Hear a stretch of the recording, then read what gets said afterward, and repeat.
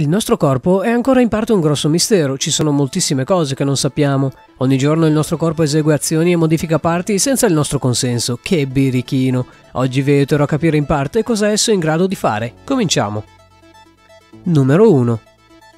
La nostra pelle compie molti processi a noi sconosciuti per proteggerci. Sapete che ogni giorno ne perdiamo un po', o almeno la parte superficiale. Sapete quanta? Quasi un grammo e nel corso della nostra vita ne perdiamo circa 20 kg. Ogni 3-4 settimane, infatti, cambiamo completamente lo strato superficiale della pelle, l'epidermide.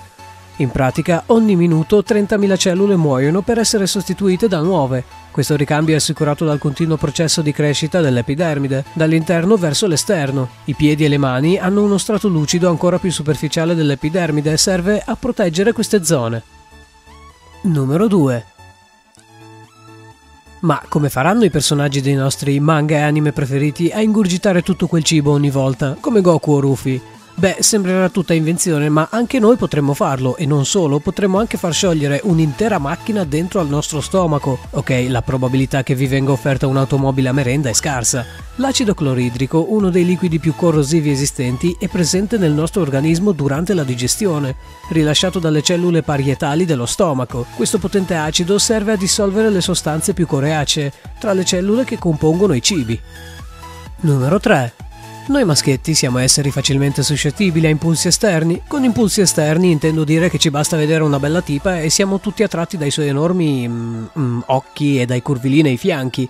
Spesso alcuni addirittura hanno grossi problemi a contenere l'amichetto nei pantaloni, ma sapete che cose del genere succedono anche involontariamente? La maggior parte degli uomini ha erezioni ogni ora, ora e mezza, durante la notte.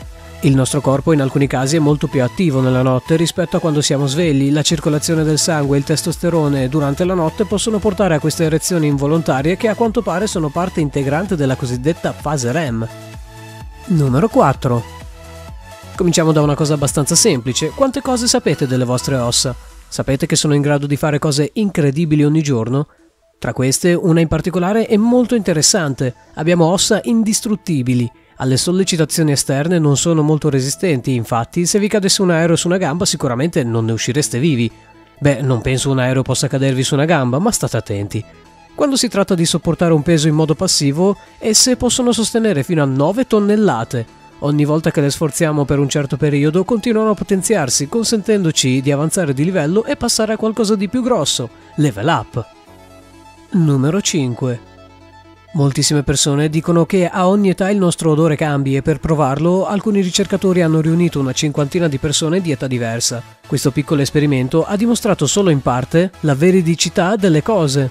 I ragazzi gli uomini e le donne di età dai 10 ai 50 anni non emanano odori particolari, a parte il sudore dei teenager.